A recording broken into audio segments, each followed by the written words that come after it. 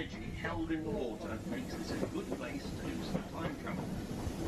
We know that throwing a ton or a sports car into the future requires a speed of more than 80 miles an hour. But this train weighs over 500 tons, so we've had to redo the calculations